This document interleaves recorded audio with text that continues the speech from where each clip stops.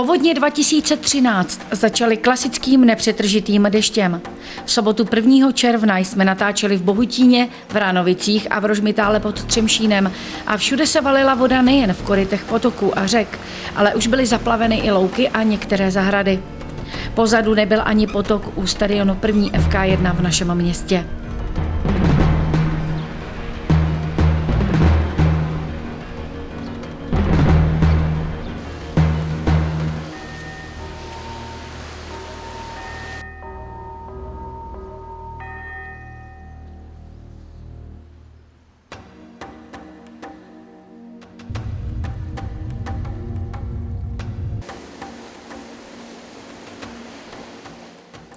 V neděli ráno už byla situace velmi vážná a březehorské zahrádky se ocitly pod vodou.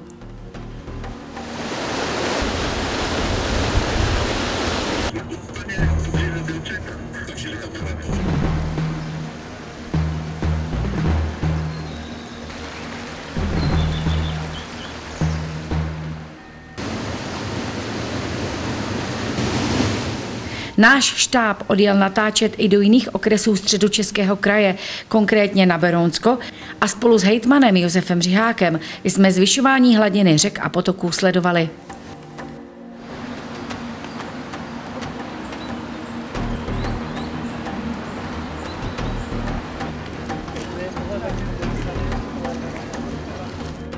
Velká voda se nevyhnula Berounu. V době našeho natáčení, tedy v neděli 2. června, už bylo částečně zaplavené autobusové nádraží.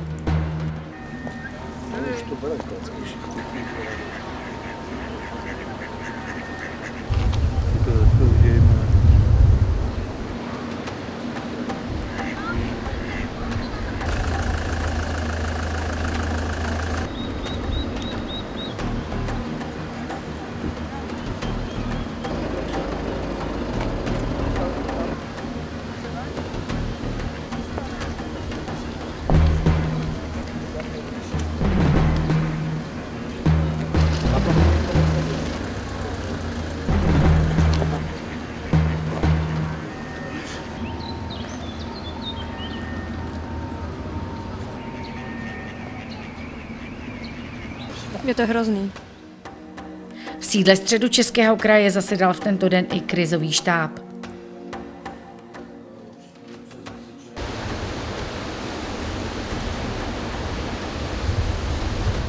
Tohle už je pohled na rozbouřenou Vltavu v Praze.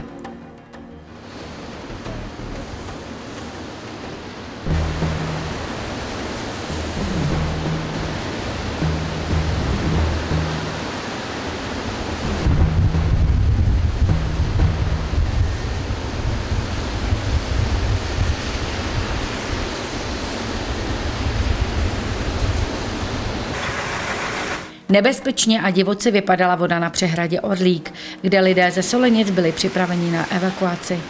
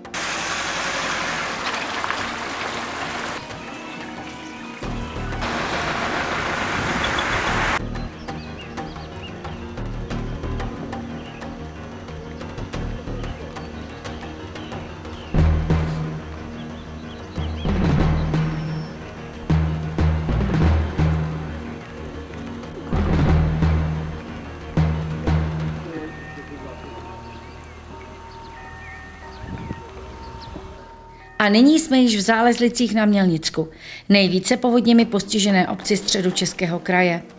Zde pomáhalo občanům mnoho zborů dobrovolných hasičů a mimo jiné i zbor dobrovolných hasičů Příbram. Dá se to dělat zase do dnešní vody, je to prostě problematický, takže je škoda, když jsme viděli, že tohle taky, že prostě se nedělali, možná, že to bylo...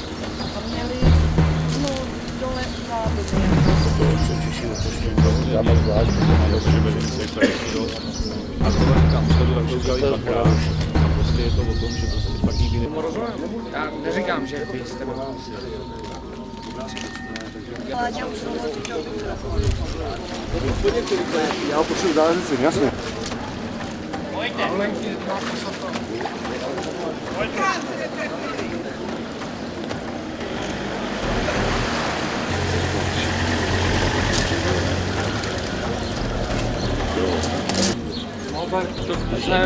Vůbec. Musí fakt rozhodnout.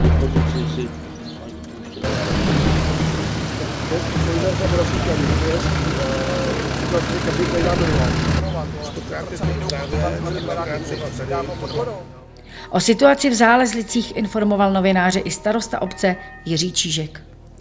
No, naše hráz, která byla provizorní, kterou jsme dosypávali, eh, stabilní hráz, která se staví, která má být dokonce na září tohoto roku, tak samozřejmě ještě nebyla v určitých místech vysoká, tak aby ochránila před tohletou vodou, tak jsme ji provizorně dosypali. Ale bohužel se stalo to, že jsme vyš- vycházeli s informací, že to bude na určitý průtok. Ještě jsme to předimenzovali, ale ten průtok nakonec přišel větší, takže ta hráz to nevydržela. Ta provizorní, podotýkám, ne ta stavěná, ale ta, ta která byla jenom sypaná a prostě se tam protrhla, takže se to eh, začalo valit na obec a v místě, kde jsou ty děliky, tak se vyrovnaly hladiny a pak už to začalo stoupat pomalu, jo. ale samozřejmě jsme to nemohli podcenit, takže jsme radši řekli lidem, že prostě hrozí to, co v roce 2002 a probrali jsme s nimi, jestli teda chtějí odjet eh, sami, nebo jestli je máme zaži- zařídit eh, ubytování. No, po dohodě teda odešlo 14 lidí do internátu do Nenatovic. Já jsem přivezl dobrou zprávu o tom, že kraje, které nejsou postiženy v těchto dnech a hodinách ničivými povodněmi, tak pomáhají solidárně těm ostatním. My jsme na Jižní Moravě měli velkou vodu v letech 97, 2002, 2006, 2010. Dobře víme, co to znamená. Dobře víme, co to znamená pro obce, pro lidi, pro kraj jako takový. Eh, Byl jsem tady před chvílí na obecním úřadě v Zálezlicích a s panem starostou jsme projednali možnost finanční pomoci, takže Jihomoravský kraj poskytne této obci konkrétně finanční dár. Budeme ještě jednat s panem hejtmanem o tom, kolik peněz to bude.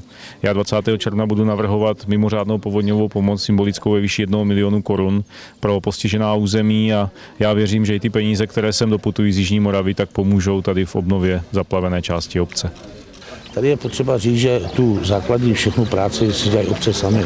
Každá obec má svůj evakuační plán po, a má své eh, plány a je, starostové jsou na to školení kraje nad nima, takže kraj pouze koordinuje tu pomoc. To znamená, jestliže tadyhle potřebuje, pan starosta ví, že má zavolat dokladná na štáb integrovaného záchranného systému a my sem třeba pošleme 20 hasičů, můžeme sem poslat technovou techniku, můžeme sem přivést pytle s pískem, poslat čluny, tak jako ostatně vidíte, já jsem třeba poslal i naše dobrovolné hasiče s příbrami, odkud já jsem, kde jsem starostoval, takže my můžeme koordinovat tyhle věci a myslím si, že ten integrovaný štáb eh, fungoval dobře.